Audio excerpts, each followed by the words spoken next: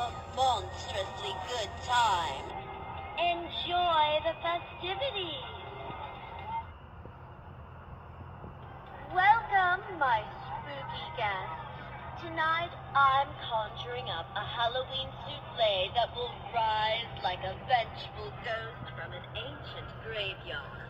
A truly haunting experience for the taste buds indeed. Good evening, you fabulous creatures of the night.